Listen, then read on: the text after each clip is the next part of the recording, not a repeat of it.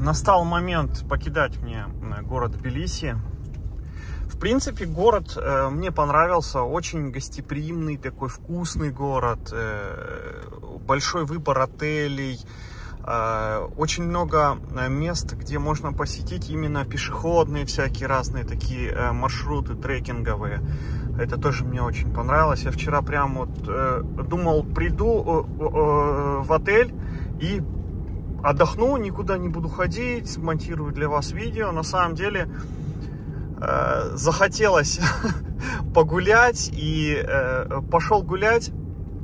И, в общем, э, до вечера, до темноты прогулял, э, столько всего интересного увидел. И однозначно э, город, городу прям можно несколько дней здесь уделить. Э, можно всякие разные экскурсии заказать и э, вообще город сам по себе очень интересный, такой э, крас, красочный, colorful. То есть он, э, как сказать, такой э, многогранный. И э, здесь разные абсолютно люди, но все люди без исключения отзывчивые, кому бы я бы не подходил, просто так пообщаться или что-то просто поинтересоваться, обязательно все расскажут, даже если кто-то плохо по-русски говорит, ну, это больше исключение. В основном э, все говорят нормально и все понятно. Даже на английском стараются как-то объяснить, помочь. Много машин с российскими здесь номерами. Э, много с европейскими номерами. Европейцев много путешествуют, приезжают прямо на велосипедах сюда. Ну, э, город такой, туристический, конечно же, туристов очень много. И вот, как я вам вчера говорил, вот такие машины, они только появились, вот эти вот Lexus. И их здесь уже, ну, вот я два дня здесь нахожусь, Lexus официально здесь представлен. И я их уже машин 5, наверное, видел. Много всяких разных вот таких водопадов. Вот просто дорога, там речка, и вот как бы трасса, и вот водопад. Э, зелени вот такое много. Это вот стекает вода со скалы. И, э, соответственно, здесь э, растет растения какие-то прям на камнях. И, ну, это все так красиво, как-то все мило, мимишно. И, в общем, город, конечно же, крутой. А, в ресторанах еда стоит очень мало. Можно за 10 долларов можно просто объесться, даже двоим, наверное потому что порция лари, э, порция хинкали стоит 10 лари, там или 11 лари, и э, в любом ресторане, в любом отеле есть и э, завтраки включены, и точно так же и обеды, и ужины тоже где-то в районе 30 лари, 10 долларов. Э, честно говоря, я думал, что э, цены на отели будут выше, ну, из-за того, что вот э, в связи с мобилизацией много россиян вроде как сюда э, собиралась приезжать или приезжала. Ну, я, честно говоря, не заметил. А, у них здесь очень любят японские машины, Honda, Toyota, корейские всякие разные Hyundai. Ну и европейские тоже есть машины. Ну, в основном японские. Toyota очень-очень-очень популярна. Особенно вот Prius, это э, у них э, любимая машина у таксистов. Они прямо ее обожают все э, таксисты в основном ездят на этих машинах. Вот эта река, я, как вам уже говорил, э,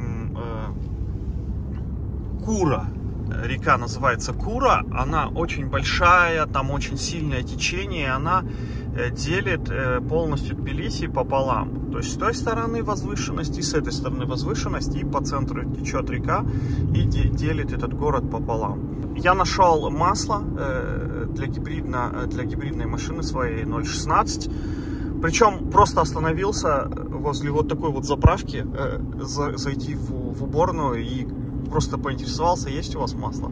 Да, говорят, есть. Но э, вообще говорят, это редкость. 0,16 здесь еще пока не заливают свежие машины.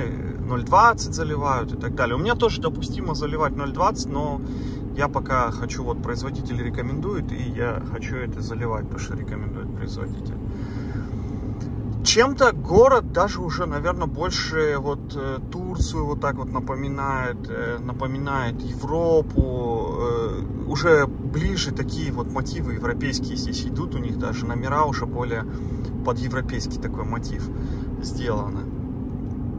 Вот. А, что касается обмена валют, когда я только заехал, вот ехал с Верхнего Ларса, там Каз, Казбеки, там потом Гуа, Гуадаури, по-моему, или еще что-то типа этого, э, Степансминда, там э, был не очень хороший курс обмена, примерно, наверное, процентов на 20 э, хуже, чем здесь. А, там за 1000 рублей мне, у меня остатки рублей оставались, и за 1000 рублей мне 25 э, лари давали. А здесь я поменял по 32. И то, опять же, вы когда гуляете, э, то есть вот возле метро в одном месте может быть 30 курс за 1000 рублей, в другом 32. И, в общем, там я небольшие остатки у меня были. Я эти небольшие остатки просто поменял. И все. А так, в принципе, здесь карточки вот эти казахстанские наши работают. Мир проверял я, мир не работает. Российская карточка здесь. Поэтому нужно э, либо наличные, либо вот э, какие-то такие карточки. По-моему, здесь э, для россиян можно открыть в банке счет и, ну, и иметь нормальную карту, которая будет по всему миру, в принципе, работать. Пробок особо таких больших нет. Я э, специально решил поехать в субботу-воскресенье. Мне, кстати, надо ехать э, 5 часов. Я думаю, я буду остановку делать 360 километров. Потому что мне сказали э, ребята там в отеле, что и, и дорогу и делают, и э, сужается дорога. И, э, короче говоря, я буду э, где-то остановку делать, чтобы отдохнуть. Потому что ну, нет смысла столько много ехать, и э, проще, когда это все... Я никуда не тороплюсь, и проще, когда это все вот по несколько дней, и намного приятнее так путешествовать. И, в принципе, я могу это расстояние, конечно же, проехать а, за 5 часов, но в этом нет никакого смысла вечером приехать. Ну, я просто хочу наслаждаться путешествием. Я хочу, чтобы путешествие мне доставляло удовольствие, а не вот так вот куда-то нестись. Там ночью некоторые едут, там вдвоем некоторые едут. Ну, и, естественно, путешествие, сам смысл путешествия теряется. Здесь э, нету хамства на дорогах. Вот мы сейчас с вами стоим, э, в принципе, никто э, правила не нарушает, по встречке никто не лезет, никто не подрезает, не... Бывает, периодически сигналят, э, ну, есть такое, да, я встречал, как, наверное, и во всех больших городах люди нервничают, сигналь, ну, вот такого грубого, грубости какой-то на дорогах, как у нас в Алмате, там, э, могут ехать сзади, фарить, там, быстрее пропусти, не пропустишь, он там тебя обгонит, начнет задницу свою подставлять. Э, такого, конечно же, здесь нету, и вообще и в России я, в принципе, такого не видел. Ну, э, с этими людьми нужно бороться, нужно просто брать, снимать их на видеорегистратор и отправлять дорожную полицию, там, естественно, будут с ними разбираться. Поэтому создание аварийной ситуации – это э, серьезное нарушение, и могут даже справ за это лишить. Торгуют здесь, э, флаги продают прямо на дороге, у нас тоже такое можно встретить. Но не попрошайничают, попрошайничеством не занимаются. Вот он э, ходит, один лари, флаг, пожалуйста, я э, продаю флаги. А, так, чтобы дать деньги типа бесплатно, нет. Хотя э, сама по себе Грузия, это, ну, не, я не могу сказать, что супер богатая страна, как, допустим, наверное, Казахстан или еще что-то. Они весьма скромно живут, и здесь население тоже небольшое, но они, э, как сказать, то есть живут вот посредством, и а, а, они, наверное, патриоты, они а, вот свои богатства не разбазаривают, не, не, не, не раскидывают туда налево-направо, то есть как-то вот, ну не знаю, вот есть, допустим, у них какое-то богатство, они все здесь сохраняют. У них нет таких э, полезных ископаемых, как у нас в Казахстане. Нет такого большого количества нефти. Им приходится покупать э, э, топливо и нефть в Европе или там еще где-то, поэтому а у них такие цены высокие. Но вместе с тем, то есть страна процветает, они строят там туннели. Конечно, естественно, она гуще заселена Грузия, чем, допустим, Казахстан. Но все равно, так или иначе, то есть нужно, конечно, отдать должное, как они здесь и туризм развивают. В принципе, мы, Алмата ничем не отличается э, вот э, в плане э, ландшафта, наверное, с Грузией. Такие же у нас горы красивые, такие же у нас там и водоемы есть, и все-все-все, и исторические какие-то места есть. Может, там замков, конечно, нет, крепостей нет, но все равно можно э, устроить туризм, и в Казахстане можно как-то привлечь иностранцев. Но это уже разговор не об этом. В общем, э, вся Грузия, она там около 5 миллионов, она, естественно, территориально намного меньше Казахстана, и ее полностью вот э, можно проехать э, поперек, там, грубо говоря, за 5 часов с Тбилиси до Батуми. И население тоже не такое большое. Еще мне сказали, что вчера э, очень много уехало молодых, уезжают в Европу работать, и э, типа здесь работы мало, промышленности никакой нет, и э, много людей уезжает на заработки. Может быть, я, конечно, не заезжал в такие места, э, но я здесь нигде не заметил, чтобы какие-то алкаши, бичуганы там ходили, какие-то бездомные как-то скитались. Ну, все пределы. Каждый человек чем-то занят, кто-то что-то делает. В крайнем случае, там, э, э, ну, если совсем делать нечего, они могут на рыбалку поехать там или еще что-то. Я не видел, чтобы кто-то здесь где-то как-то ходил, шатался, там, блевал или там еще что-то. Хотя в стране очень много алкоголя, и алкоголь практически вообще бесплатно. Можно получить везде, повсюду дегустация, повсюду предлагают э, и чачу, и вино, и повсюду, повсюду. Я не знаю, как здесь, но говорят, во Франции или там где-то в Италии вино в некоторых регионах стоит меньше, чем вода. Вот. Такие развязки здесь есть. Мостов очень много, через речку много мостов. Ну, в целом дороги хорошие. Прям вот именно даже в Тбилиси дороги очень хорошие. Я не могу сказать, что там где-то ямы или еще что-то. И э, они такие спланированные, грамотно. Вот мы сейчас с вами едем, да, как бы сейчас суббота, э, выходной день. Но в любом случае мы через весь город с вами проезжаем, прям через центр. И я вот, наверное, в нескольких местах только как бы останавливался на светофорах, и все. Особо каких-то таких тупых заторов, чтобы просто тупо люди стояли без причины, нет. У нас вот по Альфараби бывает такое возле Исентая, люди могут стоять просто без причины, потому что, ну, там неграмотно была изначально, во-первых, спроектирована транспортная э, система. Во-вторых, там э, выезжают люди и как-то они тоже выезжают, все щимятся, друг друга не пропускают, подрезают. Здесь такого я не замечал. Здесь люди как-то едут и э, ну, как-то просто здесь ехать, легко и просто. Много женщин за рулем, прям именно взрослых таких женщин водят машину, потому что безопасно.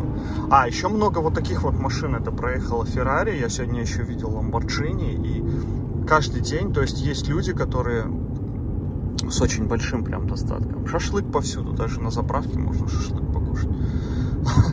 Шашлык и хинкали это э, можно в, любо, в любой э, точке Грузии вообще найти. Хинкали стоит один или там полтора лари, это примерно где-то 200 тенге, полдоллара.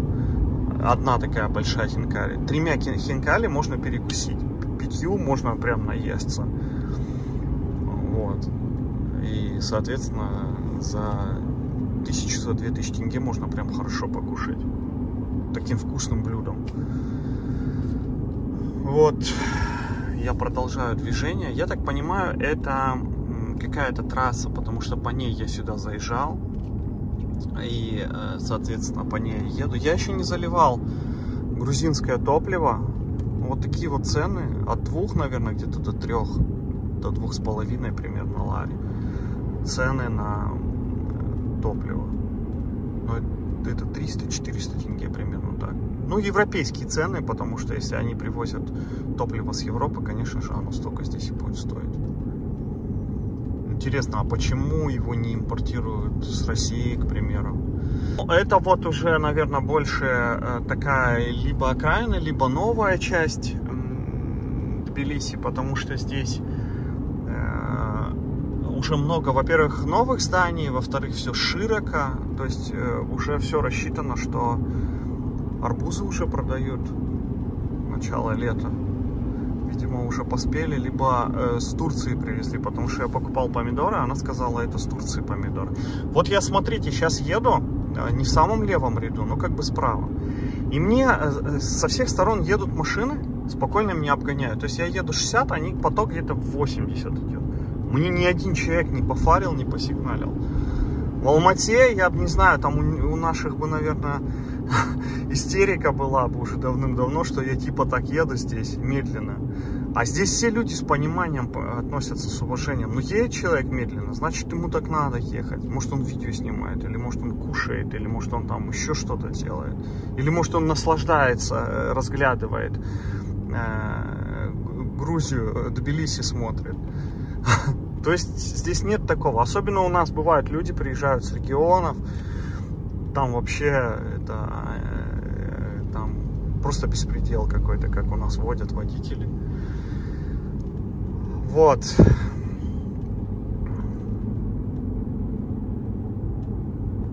Здесь э, очень низкие таможенные э, пошлины, наверное, как у нас были э, примерно 10 лет назад, до того, как до того момента, как Казахстан вступил вот это в таможенный союз, вот э, когда вот это цены подняли на растаможку и э, вот это все и запретили многие машины возить, он, нас, наверное, примерно так же было. Поэтому здесь очень много машин. Э, это как транспортный такой хаб, супермаркет машин какой-то большой. Сюда очень много машин отовсюду привозят. И э, здесь они уже потом расходятся. Кто-то привозит с повреждениями машины, кто-то новые машины привозит. И, э, соответственно, потом уже сюда могут приехать разговаривая на русском языке, купить и там через границу, грубо говоря, условно перевести эту машину. У них здесь есть казино в самом центре э, Тбилиси, то есть у них разрешено как бы. У них, э, ну, наверное, как-то э, здесь такой, как сказать, таких каких-то особых правил, таких каких-то ограничений особых, каких-то больших супер-мега ограничений нет. Вот здесь мне сказали ликвимоле может быть масло ну, для меня это уже не актуально, потому что я купил литр и, в принципе, я его просто размешаю с тем, что у меня было. То есть люди, по сути, делают, что хотят. И иностранцам это нравится, иностранцы приезжают, всякие разные хипстеры приезжают здесь и травку курят, и э, алкоголь для них здесь. Ну, наверное, это типа Праги вот Прага тоже, Прагу э, тоже любят иностранцы. Они любят в Прагу приезжать, потому что там цены низкие на алкоголь и на все вот это для европейцев. И э, я думаю, Тбилиси это... В Тбилиси едут те люди, у кого денег на Прагу не хватает. С российскими очень много номеров. Очень много машин, именно вот российские номера. А с казахстанскими я ни одного еще не видел номера здесь, в Грузии. В России видел один номер казахстанский, а здесь нет еще ни одного. То есть, если я не ошибаюсь, я уже выезжаю э, из города Тбилиси, потому что мне написали Happy Journey, типа счастливого путешествия, счастливого пути. И мне сказали, э, что здесь нет. Во -во -во -во -во спешки рожденный. Везет, наверное, у него что-то там. Нужно срочно довести. Э, вот за, первый, за весь день я весь город проехал первый раз, и он посигналил. Даже на миксере он тут вез, везет бетон. Он даже так меня хотел обогнать, то он даже не сигналил. В общем, мне сказали, что здесь нет а, платных дорог все дороги бесплатные. Ну, не все, не знаю, все или не все, но сказали, от Тбилиси до Батуми нет платных дорог. И, э, по-моему, если я не ошибаюсь, я э, по этой дороге именно заезжал чуть-чуть выше э, в Тбилиси. Вот с армянскими номерами. Да, я сюда заезжал. И вот это вот расстояние, я тогда туда час ехал, и э, сейчас примерно тоже где-то полчаса, час, наверное, э, еду до сюда. А э, потом у меня дорога туда налево уйдет. На юг. Вот эта река, она идет с гор, она там вот, э, эту реку я вам показывал, она там, э, где две реки в одну сливается, и там я вам показывал э, водохранилище. Вот это все, если я не ошибаюсь, это одна и та же река. Да, я по этой дороге приезжал, приехал, вернее, проезжал здесь. Вот в таких местах тоже можно масло купить, но не знаю, мне кажется, там может быть какие-то подделки или еще что-то. Здесь уходит дорога туда на Владикавказ, Гудаури, Степансминдия, э, Степансминда. Э, и, в общем, я оттуда приехал, вот оттуда с гор, как раз оттуда речка течет.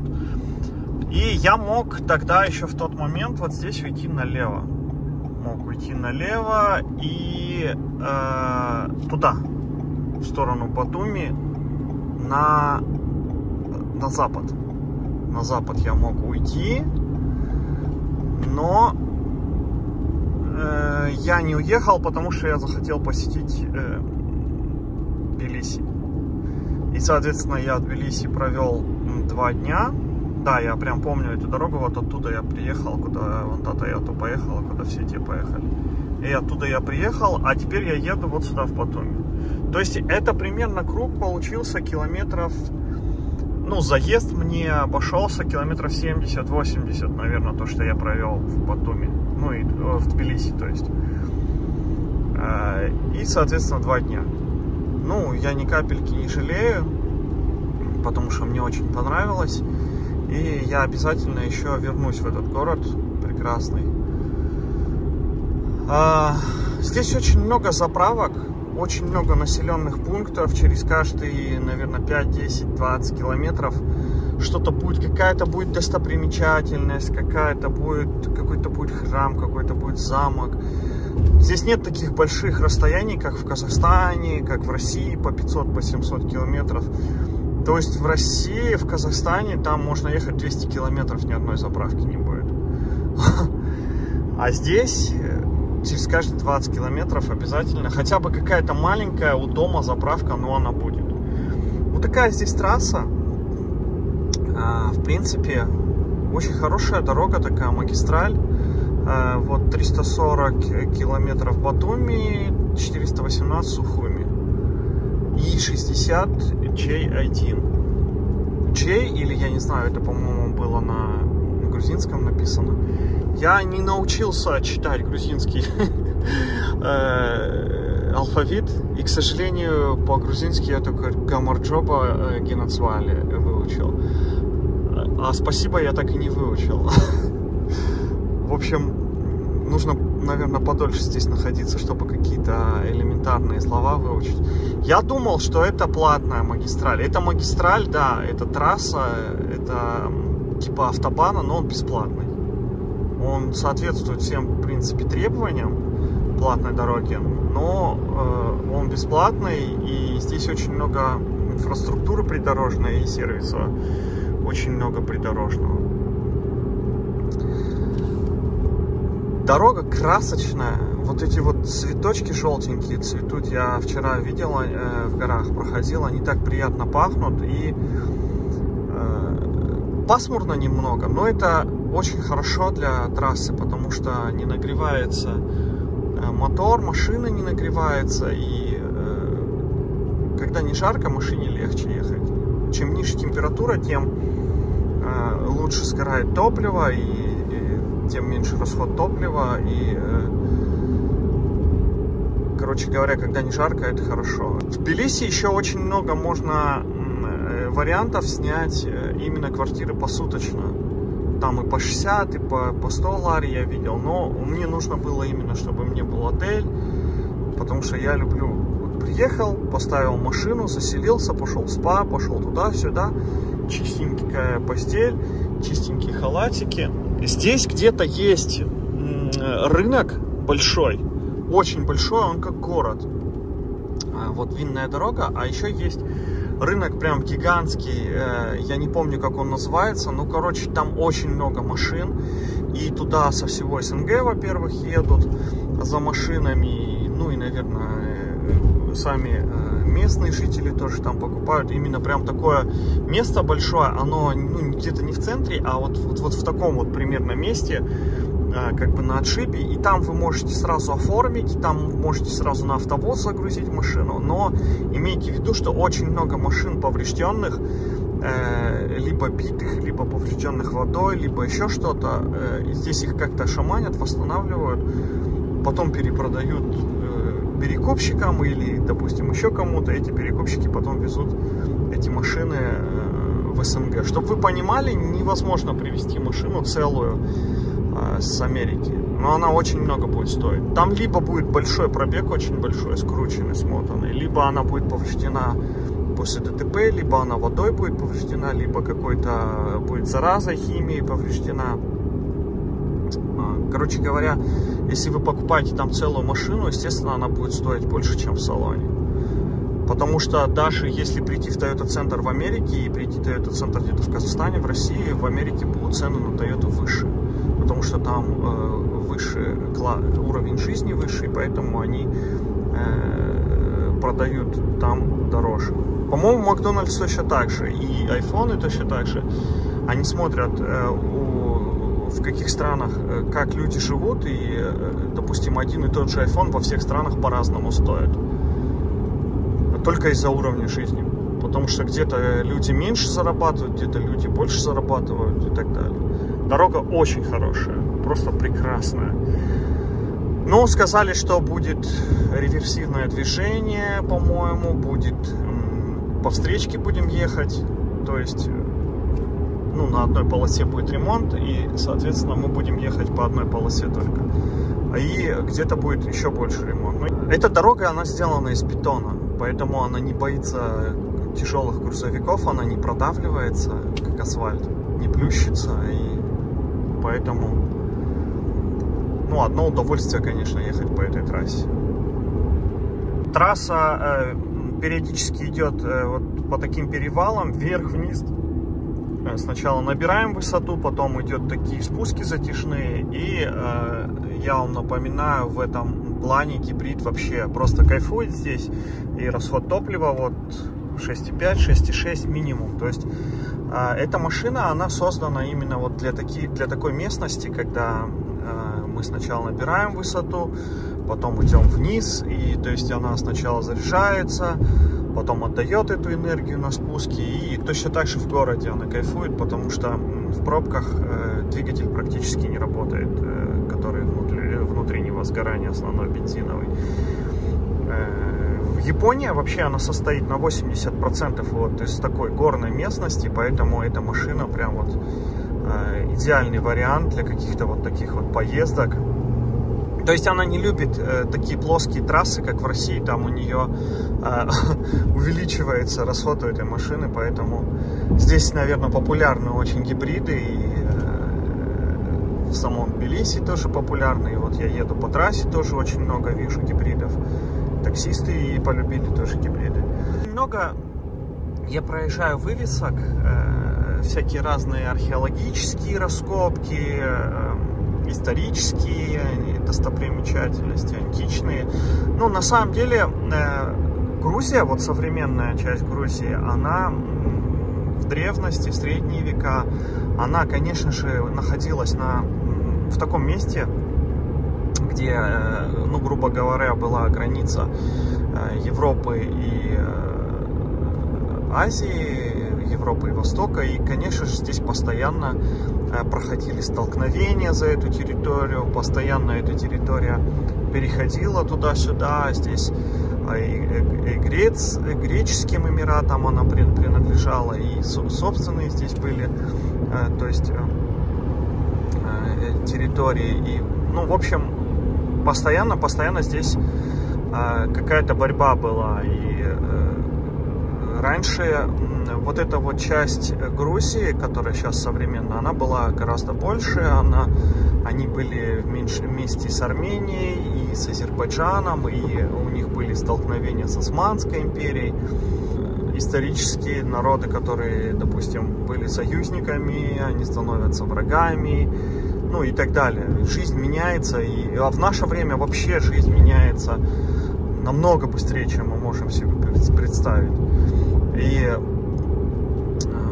трасса, в принципе, вот я уже еду, сколько, 70 примерно километров, очень хорошая, по-прежнему основание бетонное, широкое. Единственный минус, что нет карманов для отдыха, никак не остановиться, только вот на обочине справа. И э, заправок пока не было, вот та заправка, которая была, только на развилке на повороте, и все. Наверное, в 80 километрах от Тбилиси э, э, вот такие вот я встретил здесь ветряные генераторы. Я всегда, когда их вижу, они меня чем-то завораживают.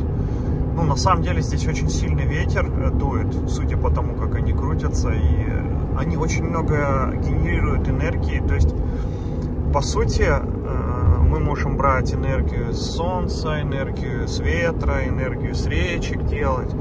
По сути, нам не обязательно сжигать уголь и так далее. И, э, соответственно, все машины тоже могут быть электрические. И дышать будет людям намного, э, то есть воздух будет намного чище. Тут же есть э, вот такая вот очень большая прямо арена для отдыха с заправкой. Так, 2,72, наверное, 95 стоит. И сотый там больше трех, трех лари. Здесь, что здесь? Да здесь по сути все есть. И газ там есть, и бензин есть, и а, вид очень красивый здесь есть. И кофе есть, сладости есть. У них тоже здесь вот эти все фастфуды и Макдональдс, вот это Вендис, это все Данкинс, это все американское тоже сюда пришло. Есть здесь уборная, парковка, э, в принципе, большая, бесплатная. Вообще можно здесь при желании даже заночевать. Я думаю, там сзади.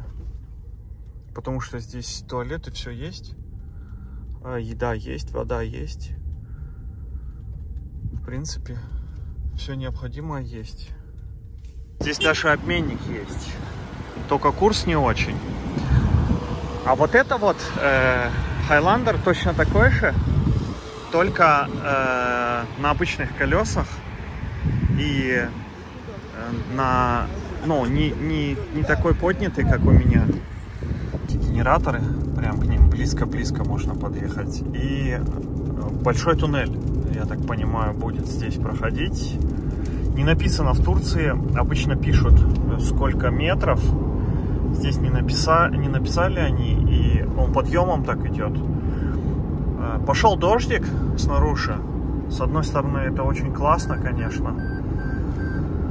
А, да и вообще со всех сторон, в принципе, очень хорошо. Туннель очень хорошо освещается. Э, очень много всяких разных лампочек, здесь знаков. По сравнению вот то, что было Верхний Ларс. Но он короткий, он где-то метров, наверное, тысячу, полторы тысячи максимум.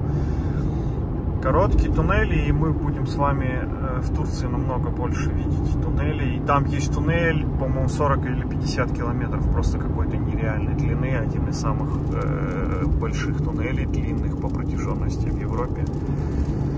И вот это место, где я сейчас останавливался, там все есть. Обменники, банкоматы, магазины, заправка, даже Wi-Fi есть. То есть там, в принципе, можно даже переночевать. Если вы едете вот на чем-то таком, на чем еду я, если у вас есть место, э, где вы можете спать, то вы, в принципе, можете остановиться, и я думаю, никто вас не прогонит. Можете там поспать. Так, сейчас будет опять спуск. Опять я буду заряжать батарейку. После туннеля есть точно такая же заправка, только с другой стороны.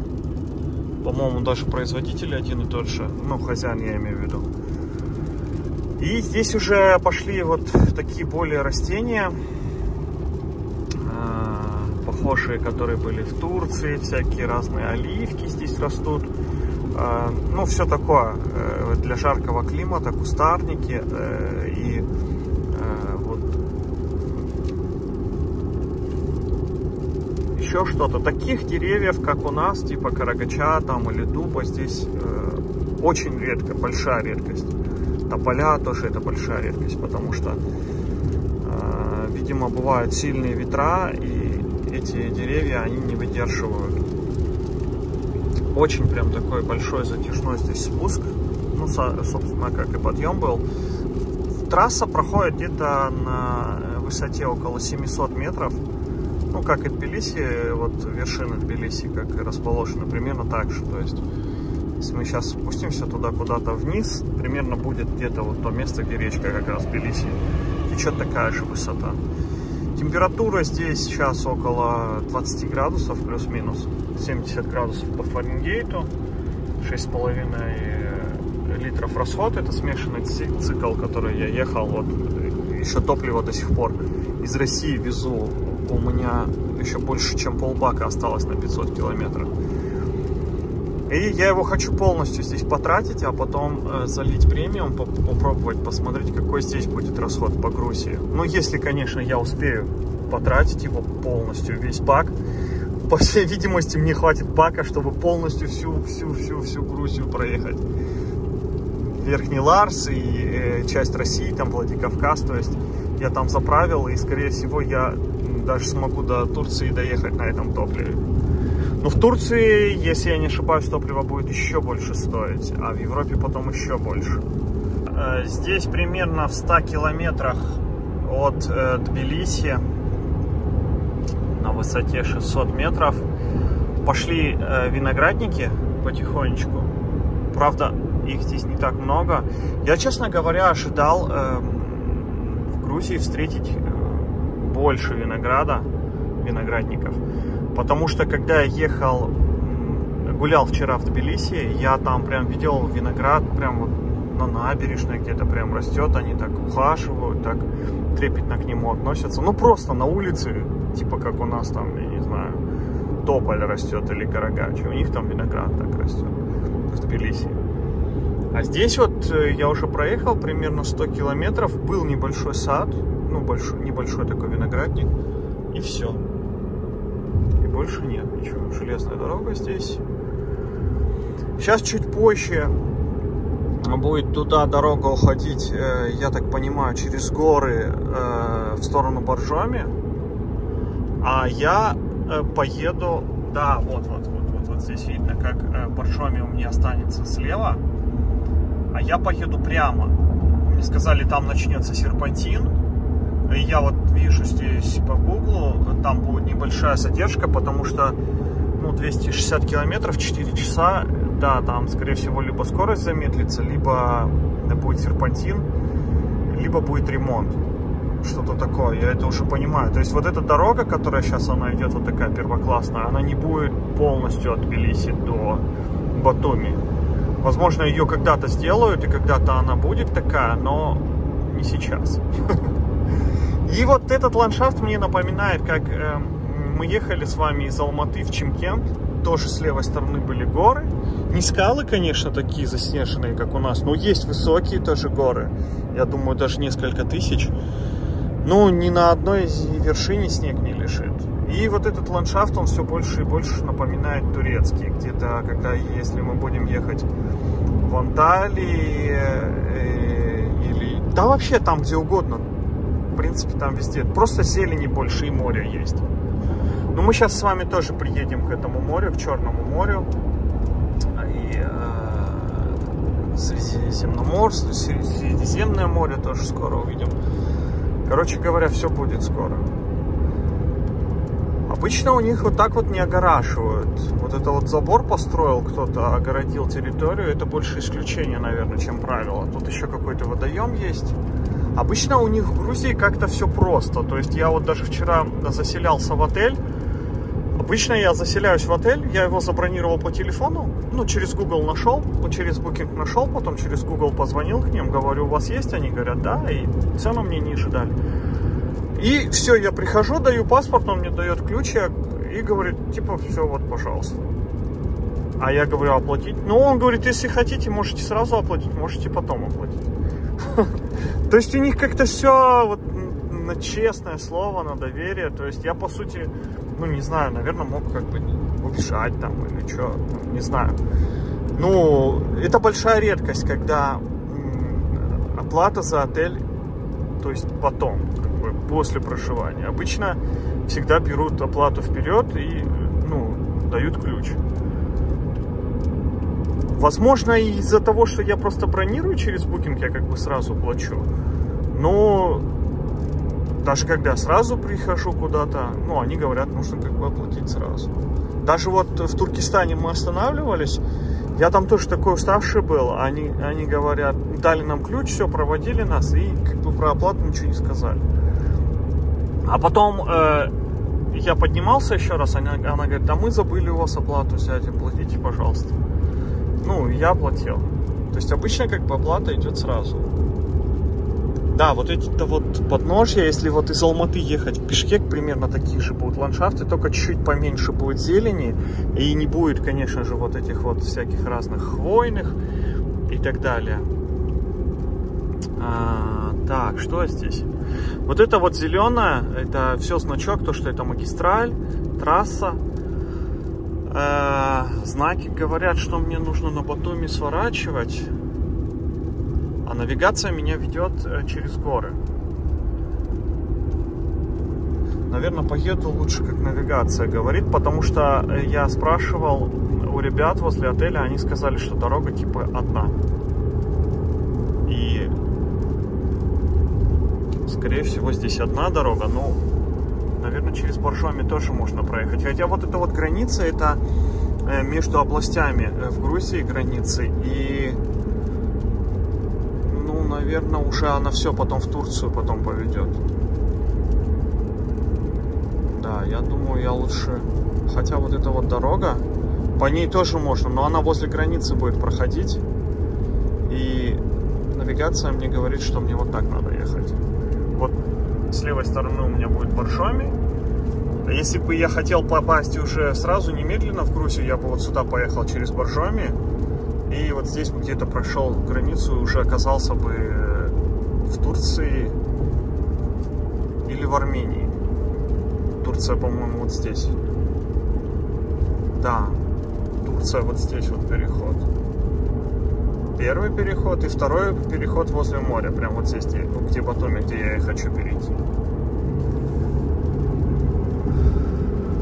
Вот с правой стороны еще там есть альтернативная дорога, Связь, роуминг здесь везде работает. Я не стал покупать э, сим-карту э, грузинскую, потому что у меня роуминг э, там за 10 долларов 3 или 4 гигабайта, или, и когда они заканчиваются, у меня просто скорость падает, но интернет по-прежнему работает. И еще плюс ко всему они мне минуты дают. То есть, если вы приезжаете там на несколько дней, на неделю в Грузию, я думаю, смысла нет покупать сим-карту местную Потому что в отелях в любом случае у вас будет интернет, э, Wi-Fi. И плюс ко всему вы можете на всяких заправках, в любых заведениях его получить. И постоянно вставлять, переставлять э, сим-карту. Я не знаю, возможно, даже я в Турции сейчас тоже не буду покупать. Мне проще покупать вот эти вот пакеты, которые я покупаю. И у меня постоянно, во-первых, мой номер на связи.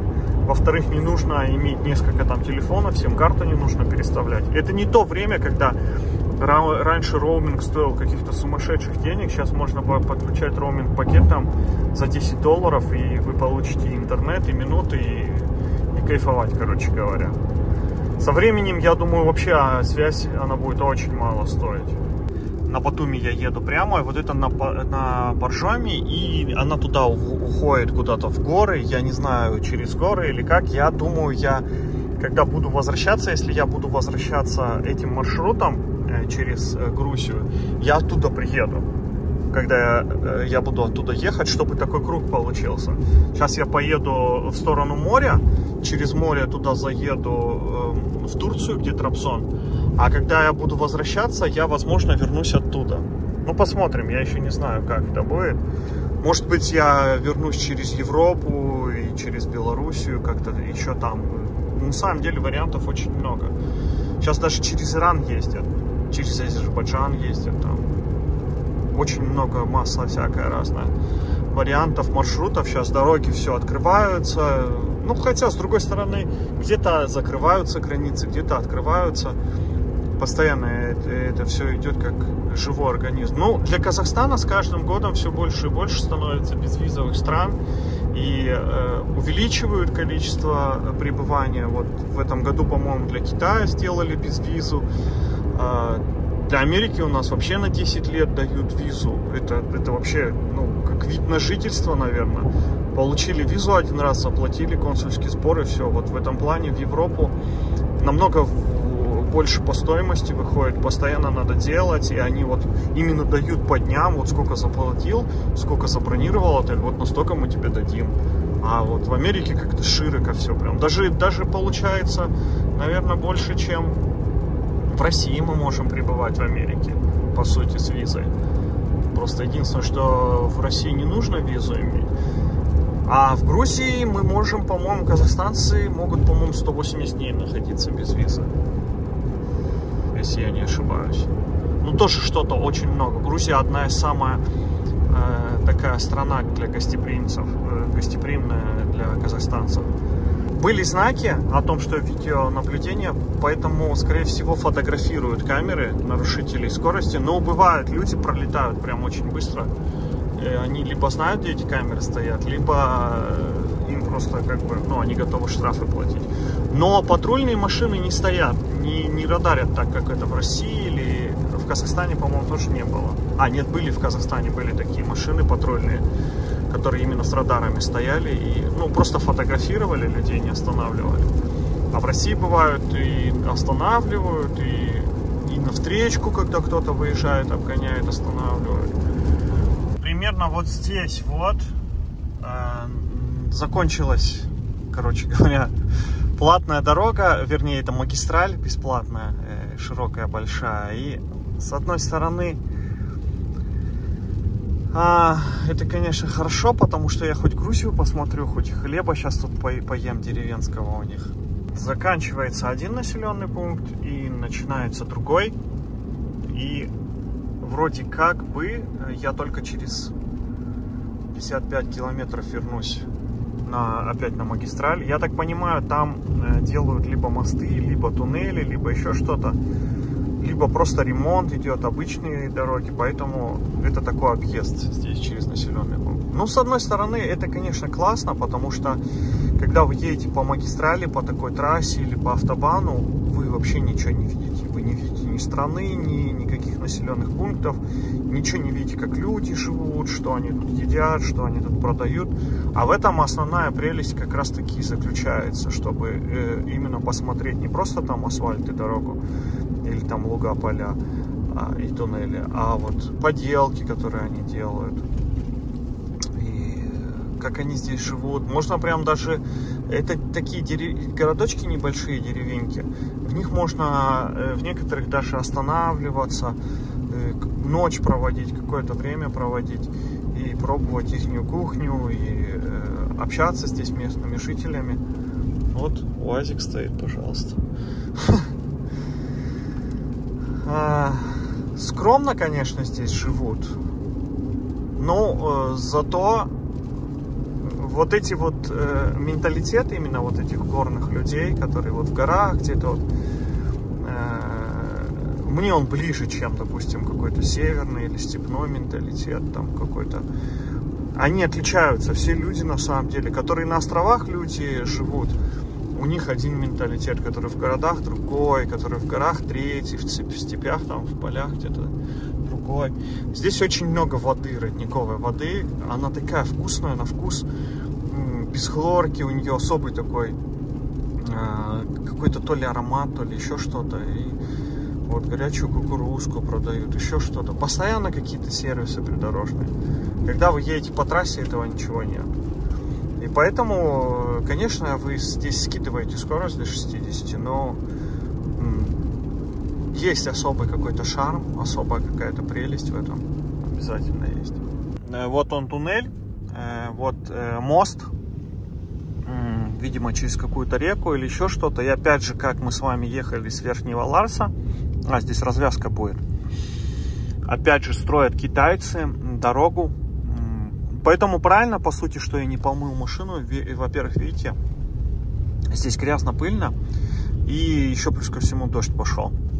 Я просто здесь запачкал, перепачкал всю машину, потому что э, вот э, здесь кран работ, краны работают, миксер и э, грузовики это все вот вытащат вот так на дорогу и просто машина будет сейчас очень грязная, я лучше ее в Батуми помою. И из-за этого мы объезжаем. Стройка прям гигантская здесь ведется, конечно же. И мне почему-то кажется, что китайцы строят эту дорогу. Хотя я, конечно, могу ошибаться. Вот здесь уже э, какой-то туннель, по-моему, готов. Или это старый туннель? А, это старый туннель. Новые современные туннели, они совсем по-другому делаются. Они, во-первых, разделяются в одну сторону. Одни машины едут на встречку в соседнем туннеле едут. А здесь, по-моему, на встречку едут в одном туннеле. То есть идет движение и встречный, и этот, и он двухполосный. И освещение здесь не такое, э, как в современных туннелях. Этот туннель, ну, относительно современный, но его давно построили. Примерно 200 километров остается до Батуми. И нас все-таки уже вот запустили э, на новую вот эту трассу. Я ее уже смог оценить по достоинству китайцы, да, ее строят, возможно, совместно с грузинами, но строят очень хорошо, качественно и быстро. Э, вот мосты, туннели, э, вообще в горах, э, здесь освещение даже есть. Вообще в горах очень сложно строить, во-первых. Во-вторых, вот эти работы, которые они выполняют, это очень-очень-очень сложно эту дорогу строить. И я думаю, что когда ее полностью уже закончат, это будет платная магистраль, платная дорога, они будут, естественно, за это деньги брать, потому что ну, не может быть такая дорога, она очень дорогостоящая, ее и обслуживать потом еще надо. Она не может быть бесплатная. Вот эта трасса И-60. 215 километров, 3 часа показывает. Возможно, э, будут еще участки дороги, где я буду съезжать объезжать ее. Но э, здесь, в Грузии, вот эти все объезды, переезды, они как-то, ну, то есть вот идут как-то незаметно. И вот люди здесь живут в горах. Как-то это все, вся дорога, она идет не так как-то монотонно, а вот уже э, более приятно и удовольствие доставляет. Вот видите, мы с вами заехали по одной стороне здесь мы едем, это движение двигается, очень хорошее освещение. Там на встречку едет э, рядом еще один туннель есть, потому что здесь ни в коем случае никаких столкновений не должно быть, это как бы допустимо. Один э, туннель закончился, потом мост и сразу дальше следующий туннель. Ну, видно, что это строят иностранцы. Китайцы, они, э, у них очень богатый опыт на самом деле в, в строительстве вот таких туннелей и именно горных дорог. Они очень хорошо строят и быстро строят. И турки, кстати, тоже. Ну, и японцы, естественно. Но я думаю, правильно они сделали, что они именно привлекли подрядчиков в данном случае. И они им просто построят быстро, качественно. И, не будет никаких там распилов еще что-то. Просто быстро и качественно, и все. Так, а здесь опять, по-моему, начинается сейчас. Или это временный объезд, или постоянный. Ну, то есть она вот э, здесь вот так вот идет, постоянно спуск, съезд, заезд, обратно заезд. И еще пока до конца она полностью не готова, но все равно, в любом случае, она не будет вам доставлять каких-то неудобств. Эта дорога, эта трасса, вы по ней нормально проедете. Самое главное, едьте отдохнувшими и э, ехать э, в светлое время суток, потому что ночью, когда вы едете, вы не видите вот этой всей красоты, вот этих всех пейзажей, всего, что здесь окружает. Да, вот эти вот туннели, они еще не готовы, поэтому мы их объезжаем. Но я думаю, они это очень быстро все сделают. Возможно, я пока доеду до Грузии, пока доеду до Турции, пока это все смонтирую, и э, уже, возможно, они даже это движение уже откроют. Но это не точно. Так, здесь какой-то населенный пункт. Вот они э, сразу привозят вот эти вот фермы, перекрытия для мостов. Они у них все, поток идет сразу. То есть задержки никакой нет, по сути. У нас один там что-то кого-то ждет, другой там этот делает, не делает, или может вообще обанкротился. И из-за этого строят долго, дорого, и э, в итоге люди мучаются простые.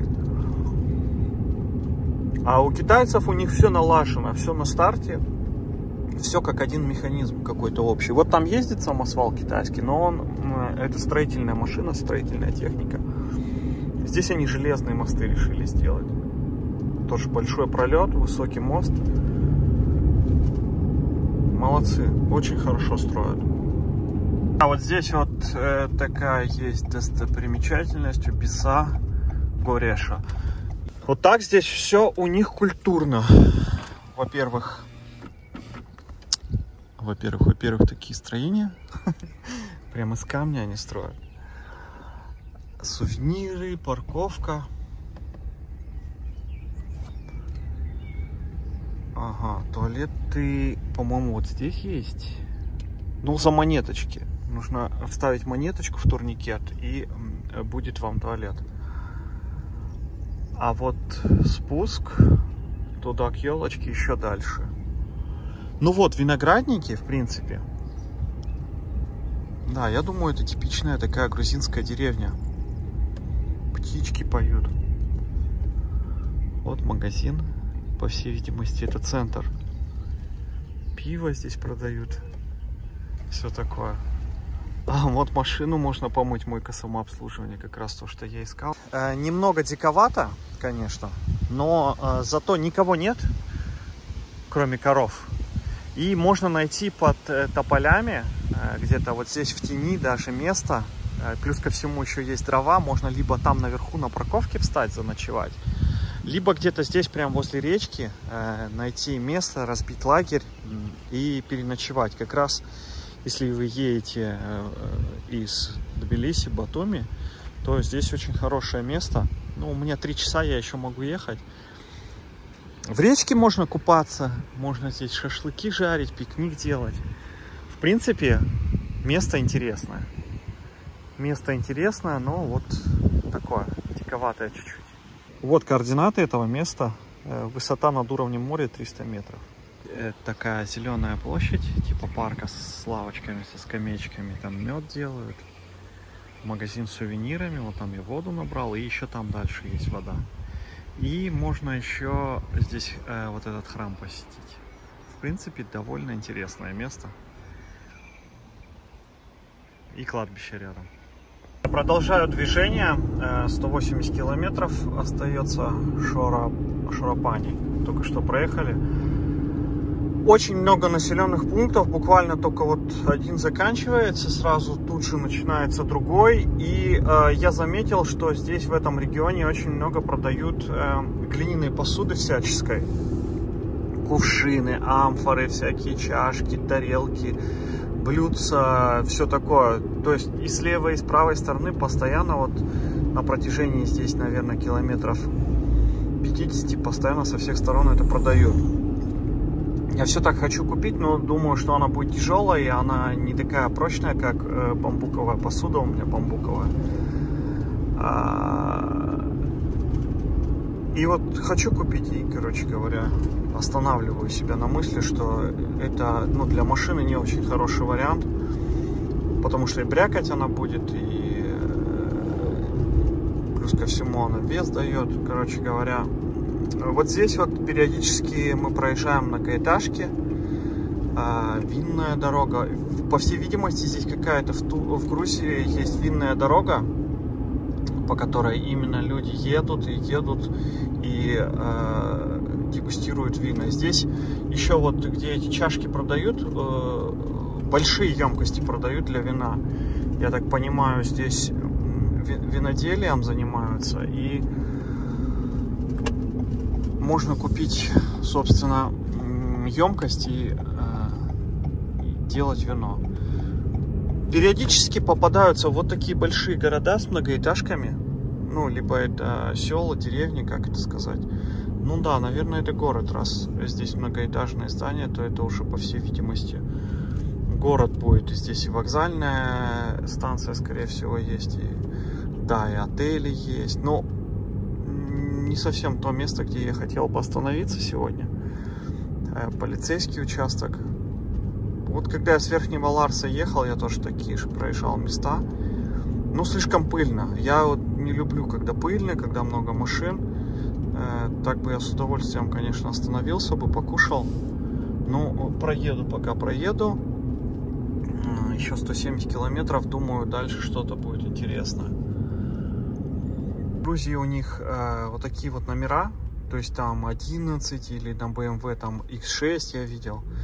Э, и э, получается, можно написать, по всей видимости, все что угодно. Ну, видимо, можно купить такой номер, то есть он не должен соответствовать какому-то стандарту.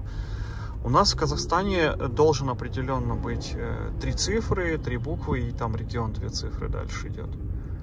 Нельзя там 0,1 сделать, там какая-то буква или там просто. А здесь вот у них гораздо проще с этим.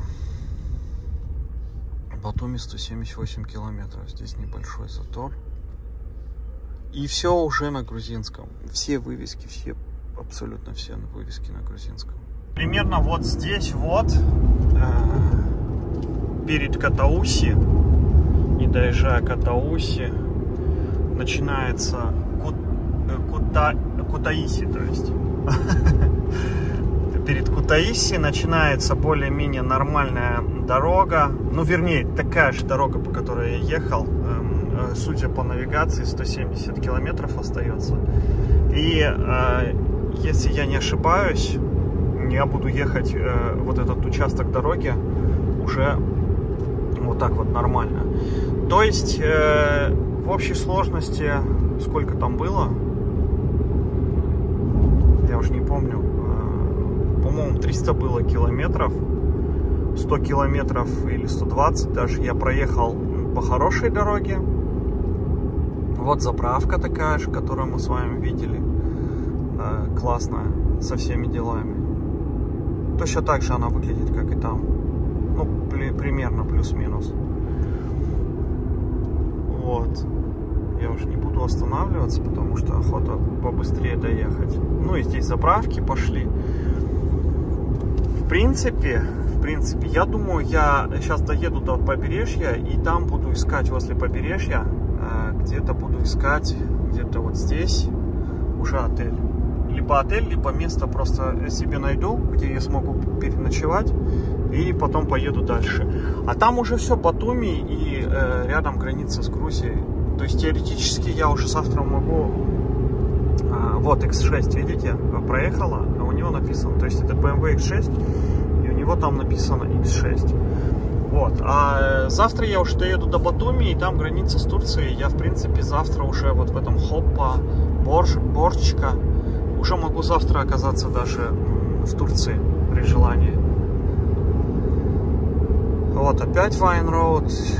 Ну, в целом, в целом, в принципе, я удовлетворен дорогой. Ну, если она будет дальше вот продолжаться, вот такая же хорошая, как и была от Тбилиси до того до момента. То есть они сейчас через горы там строят, делают, там все классно, а э, потом она вот здесь вот начинается тоже хорошая.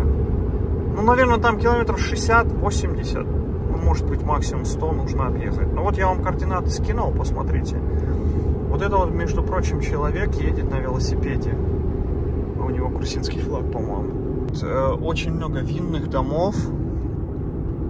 А, вин, ну, заводы какие-то, то есть э, туда можно и на дегустацию приехать, и э, там в некоторых местах даже пожить можно. Вот Волга, пожалуйста, стоит. Много машин именно либо советских, либо даже российских встречаются машины. Ну, так как в Турции, так как в Грузии здесь ничего не производят из автопрома, они просто импортируют, у них нормальные пошлины человеческие, и они э, могут со всего мира, со всего света, в принципе, себе машины привозить. Тоже так же прямо можно в Поте приехать. Кстати, я приеду как раз таки, и э, вот рядом с Поти я заеду. Ну, я думаю, я туда не поеду, потому что это портовый такой город. Туда, кстати, приходят корабли с Америки.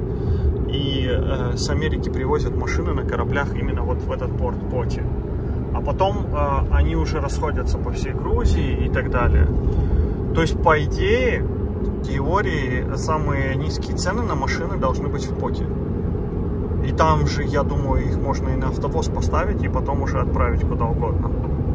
Потому что из Поти привозят машины а, уже потом в Тбилиси, и на рынок привозят и так далее.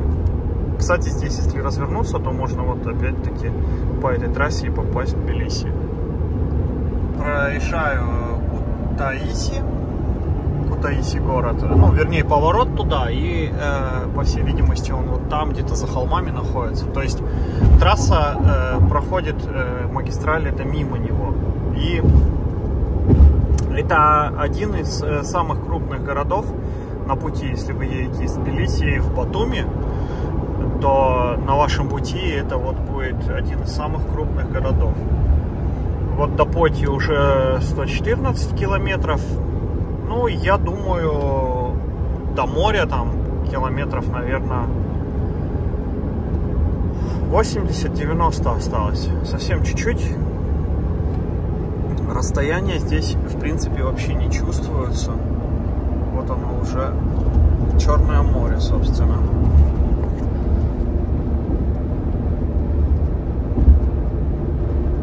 Да.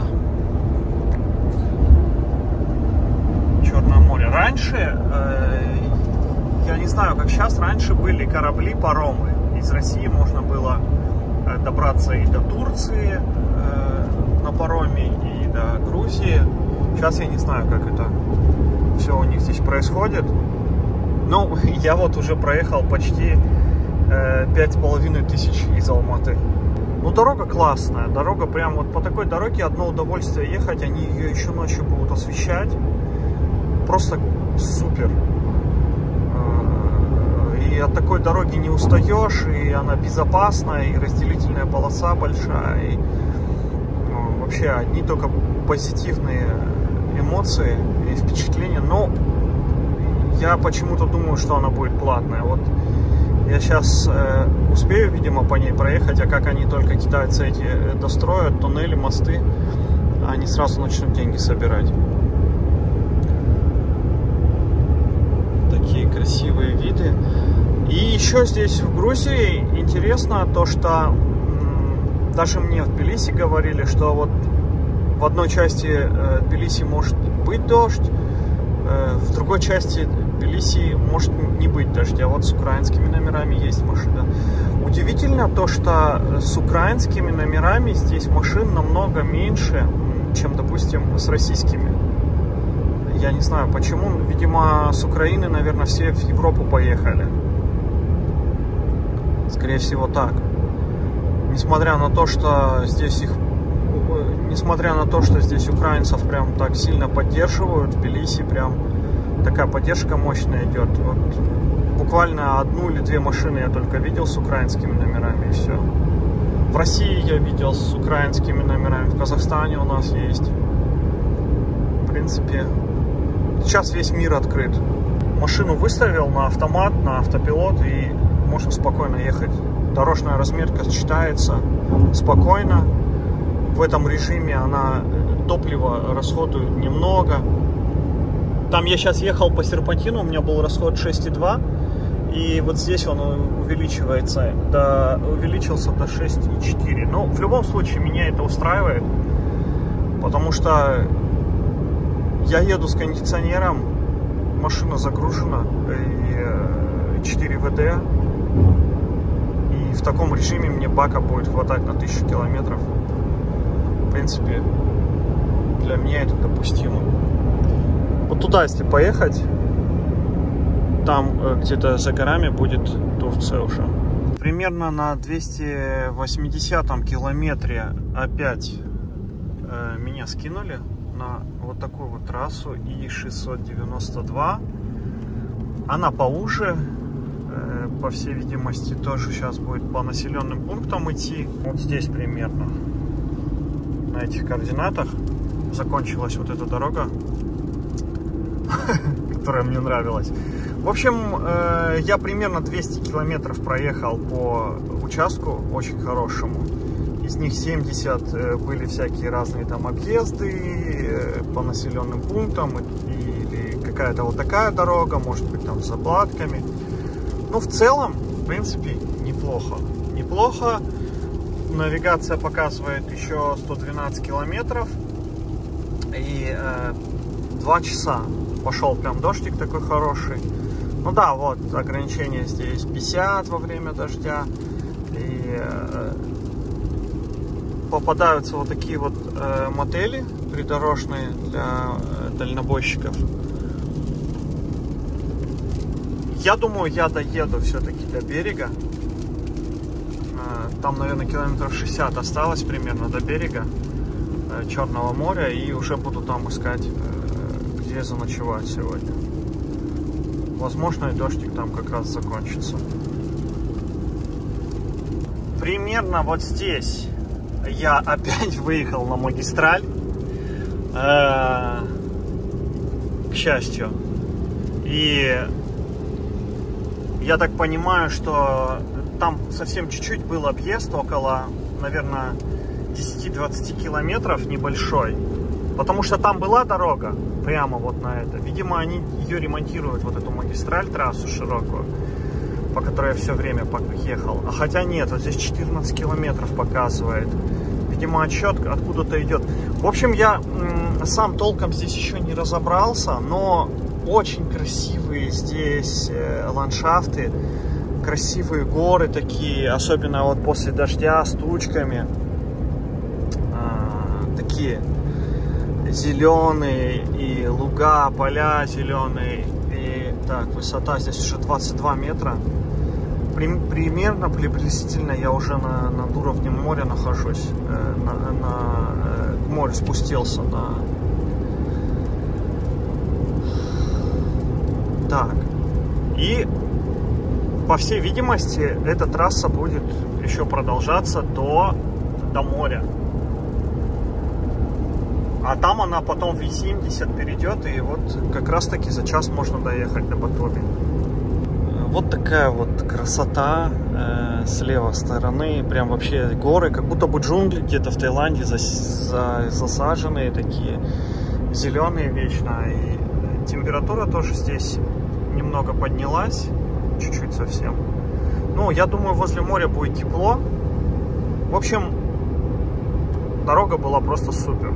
Я с удовольствием проехал, и дождик был, все как я хотел, короче говоря. И сейчас э, уже километров через 30 там уже у меня море будет.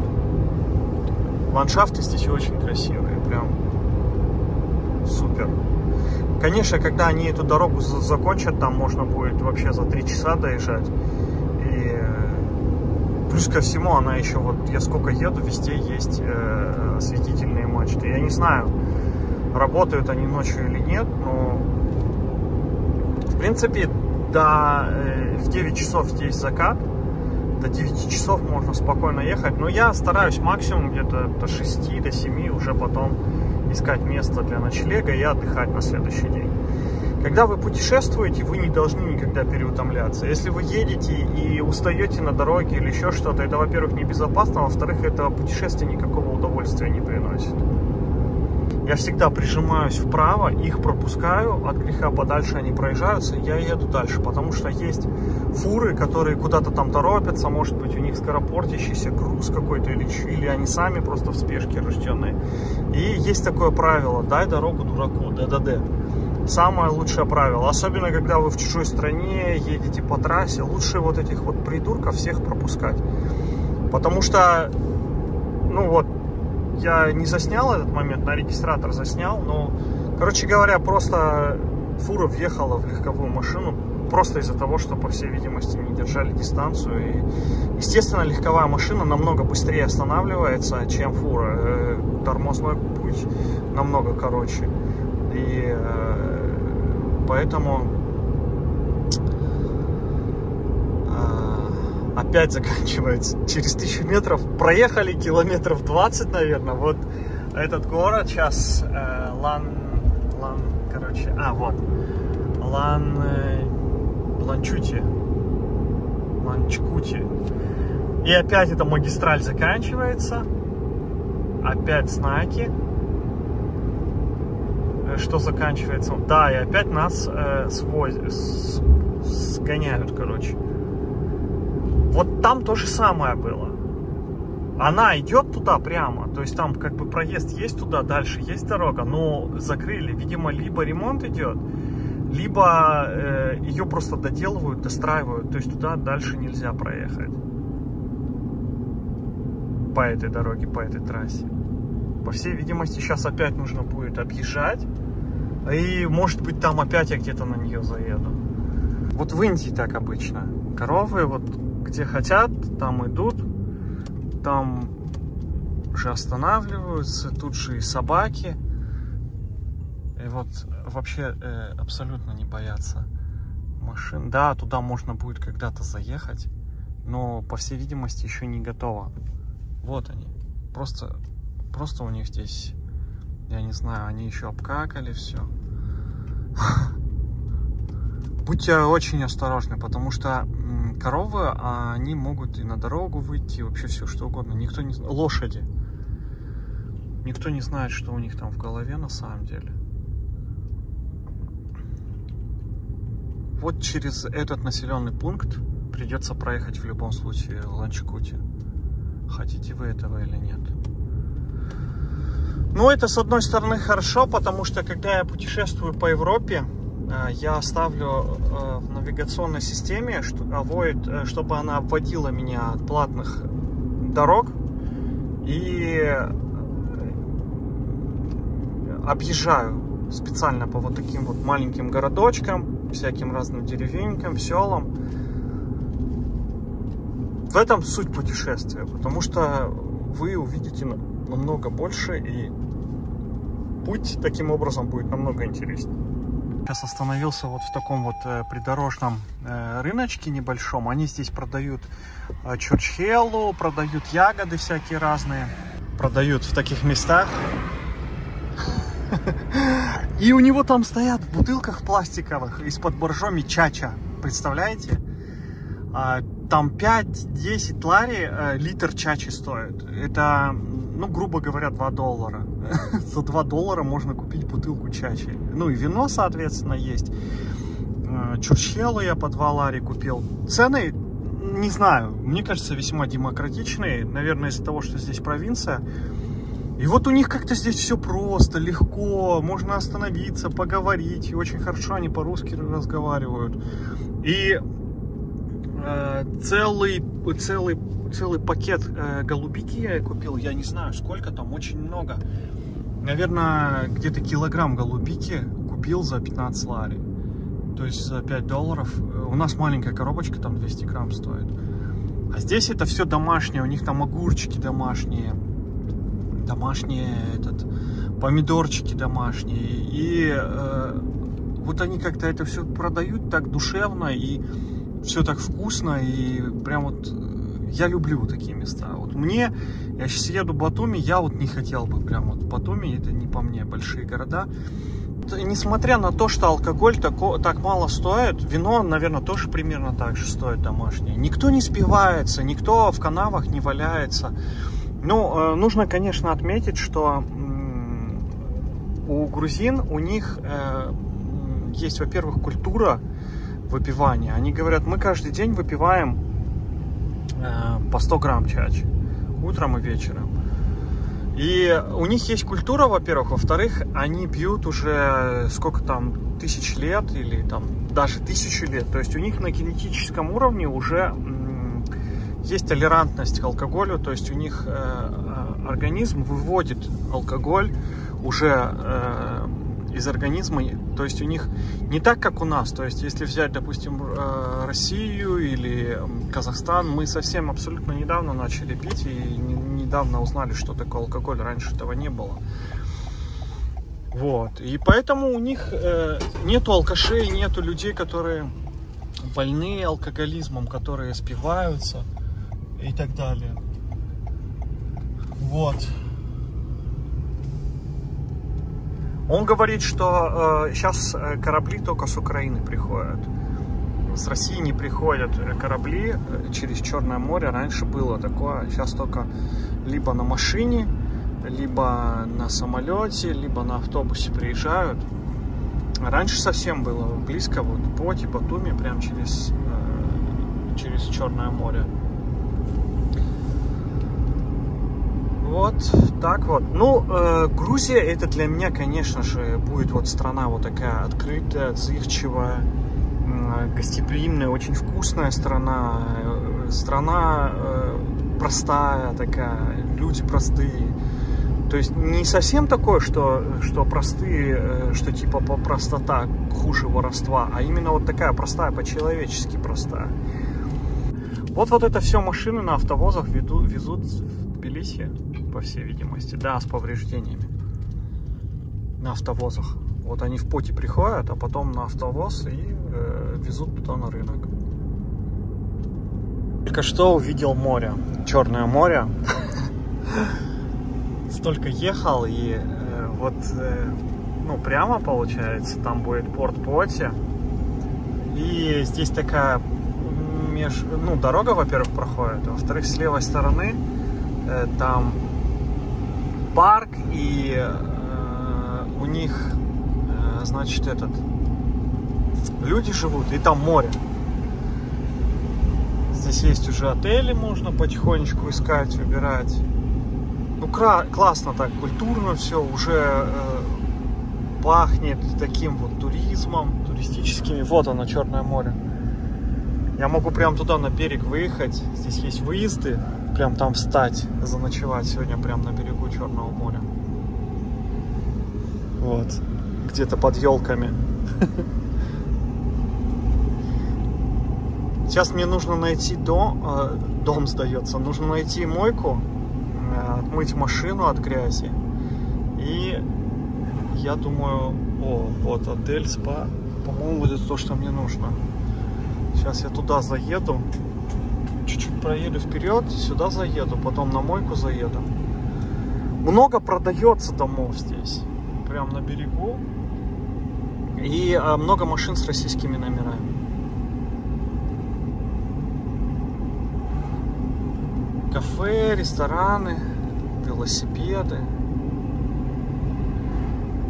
Ну, круто.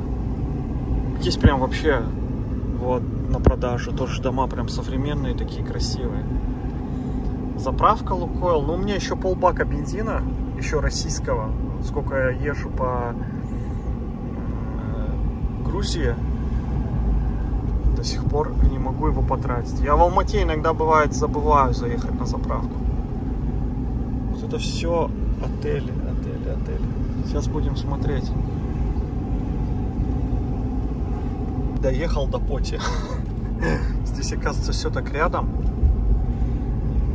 И дорога должна быть сейчас прям, ну, мостом должен быть через... Ну, море уже видно, хорошо видно. Прям а здесь много домов на берегу.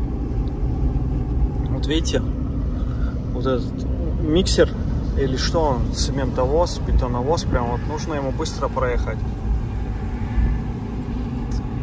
Торопится человек.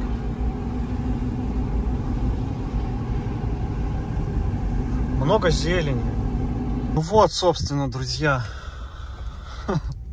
Черное море. Пять с половиной тысяч километров я ехал, чтобы его увидеть. Здесь со всех сторон можно подъехать. Я как раз сейчас запачкаю здесь машину чуть-чуть, а потом помою. Песочек. Ну, очень э, большие такие здесь э, пространства где прям можно остановиться. Чуть-чуть валяется мусор, но в принципе весьма чисто. Весьма чисто и можно прям к воде подъехать.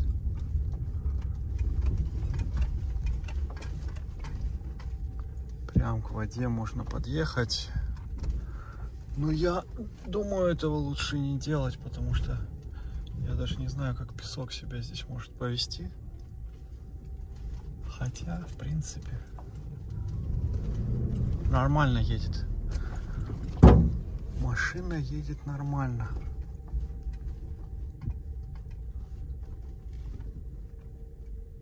Пока песок мокрый, ездить можно.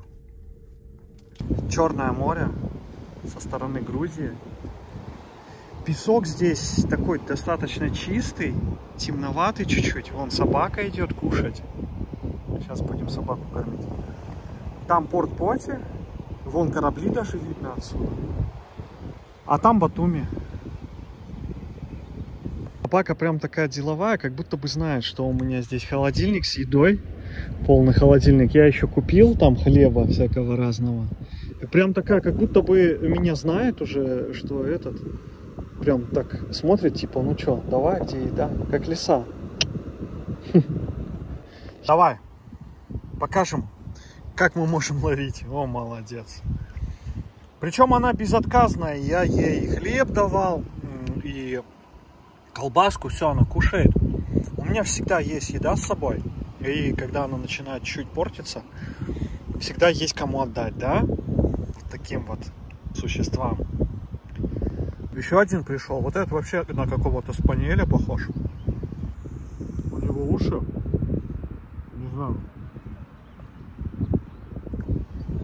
Но они здесь прям голодные. Фу, туда нельзя. Не знаю я, сколько здесь этих собак. Раз, два. Еще этот спанель на море. Причем они не дерутся между собой, как-то дружно. Этот, это девочка, это, походу, пацан, это кто? Это тоже девочка. Ну, я их хорошо покормил, хорошо им дал. Пакет, что ли? Пакет вы не будете. Все. В принципе, еда закончилась. Если я буду спать где-то на берегу, приходите, будете меня караулить, я вас буду кормить.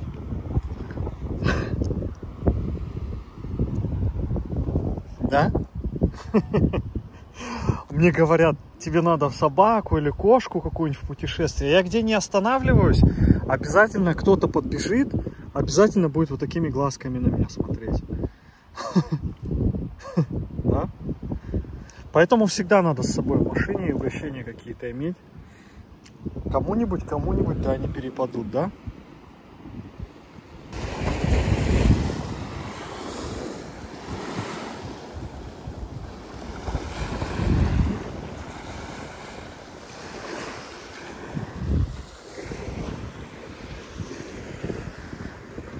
Один убежал, а эти двое прям все, теперь со мной неразлучные друзья. Я их накормил всем, чем у меня было. Прям с удовольствием они все съели. Все, можно ехать дальше. Я вот здесь вот мойка. Вот. Э, один лари можно закинуть и помыть машину. Я закинул три лари и, честно говоря, устал мыть. А, руки устали. Три лари можно три раза машину помыть. А, здесь, чтобы вы понимали, такое село, типа деревенька э, провинциальная. И э, я забронировал, короче, здесь есть э, отель 4 или 5 звезд, ну, один из самых, в общем, престижным, наверное, в этой части. Я не хочу ни в Поте ехать, не хочу ни в Батуми ехать. Я хочу вот именно здесь э, переночевать сегодня. И я забронировал отель здесь за 70 долларов всего лишь.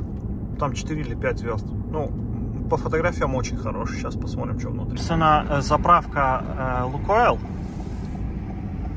А вот это Trademark Grigoleti Beach Resort. Это мой отель. Вот такая здесь, значит, друзья, зеленая территория, детская площадка. А, шлагбаум есть, охранник есть.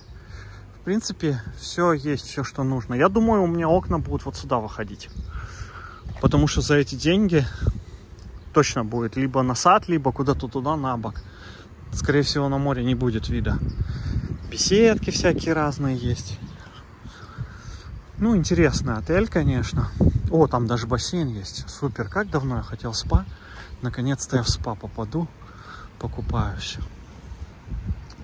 Видно, что он очень новый, этот отель. Только его построили. Большую такую кровать мне дали. Ага. В общем, генеральный менеджер меня тут приветствует. Там что есть? Ничего нет там. Там ничего нет. И э, с видом на сад с видом на сад. С видом на сад. Есть москитные сетки. И зато есть балкон. А здесь можно одежду свою сушить. Постирать, потом сушить. Ну, не могу сказать, что прям вау. Ну, за 70 долларов, я думаю, Сойдет. Сойдет. Мы, конечно, сейчас с вами пойдем посмотрим, что там, какой там вид на море вообще. Вот, вот так вот, собственно, выглядит здесь вот эти все дела. Вообще, теоретически я мог вон туда заехать, встать вон там вот и, в принципе, спать. И я думаю, даже ко мне бы не подошел бы, никто бы ничего не сказал. Здесь ресторан. И здесь можно купаться. Охраняемый пляж есть, по всей видимости. Ну, э, в смысле не охраняемый, а со спасателем пляж. В таком хвойном лесу. У меня будет бассейн и спа, э, баня будет включена в стоимость комнаты. То есть, если бы я захотел с улицы просто прийти, захотел бы посетить просто спа и э, бассейн, мне нужно было бы заплатить 100 лари. Ресторан на крыше здесь есть еще. Ну и вот так это все выглядит. Там внизу есть собаки, кстати, которых я сегодня кормил, наверное, уже успели сюда добежать. Ну, интересно. Там где-то Россия, прямо по курсу. Интересно, конечно, но я думаю, я особо ничего много не потерял. С этой стороны тоже елочки здесь, шишечки. Ну, как-то все, конечно, они сделали классно, у них зеленая трава, но вот у соседей как-то все скудно. Вот это, кстати, забор, сделан из плит э, перекрытия межэтажных. Между прочим. Тоже есть ресторан. Кстати, э, мне охранник сказал, что вот эти вот люди, это какие-то врачи или еще что-то типа этого. И, в общем, у них здесь какой-то симпозиум или какое-то научное собрание. И, короче говоря, они здесь проводят время. Сейчас кайфуют. Ну, пляж у них, конечно же, убранный, чистый такой. Бассейн работает, по-моему, до 12 часов. А сауна работает до 10. А, в Анталии я останавливался, у меня есть там отели, которые я очень люблю. Останавливался в отеле Акра. Э, там примерно 80 долларов стоит, но там отель гораздо круче, и прям э, уровень круче, и вообще все круче. У этого отеля единственный плюс, это то, что здесь есть пляж. Собственный пляж, бассейн, ну и, пожалуй, это его единственный минус. Ну и, пожалуй, это единственный жирный плюс его. То, что можно прийти и покупаться на пляже. Но, я так понимаю, сейчас сезон еще не купальный. И, наверное, мало кто купается. Наверное, вернее, даже вообще никто не купается. И поэтому, как бы, это нельзя сейчас применить как плюс к этому отелю. Фактически можно вот оттуда заехать через лес и Вот я вижу здесь с украинскими номерами машины стоят. Испанскими номерами. Кто-то приехал из Испании на, на Порше, по-моему. Да, это испанская, испанский номер. А там, э, по-моему, какие-то палатки. И, э, возможно, это связано или с медициной, или с чем, я не знаю. Ну вот, человек приехал из Испании. А, это какой-то челлендж. Они, наверное, путешествуют по всему миру. У них здесь GoPro крепится камера. Вот, пожалуйста. Ну, конечно, естественно, э, соленый воздух морской. Я как бы этим всем буду дышать. В принципе, теоретически вот сюда можно приехать, встать здесь. Ну, если погода была бы получше, не такая пасмурная, как сейчас. И просто заночевать. Здесь какие-то стоят палатки. Там есть туалет. Возможно, им даже можно было бы и пользоваться. А туда просто в ресторан на завтрак ходить. Я теперь понял, они на этом Порше, Порше, Порше поехали из Барселоны в Нью-Йорк. И вот они на нем путешествуют. Круто. Мне надо тоже как-нибудь маршрут свой обозвать. Из Алматы куда? В Барселону? Челлендж. А некоторые э, э, номера есть, э, короче, сайт Sea-View. Вот эти вот боковые, это сайт Sea-View, это Sea-View, а у меня там внутри Garden View. Дубль 2. Короче, мне там не понравилось, э, какой вид э, из моего был балкона. Ну, он, грубо говоря, там был просто на стенку дома. И я им сказал, что мне не нравится вид, дайте мне другую комнату.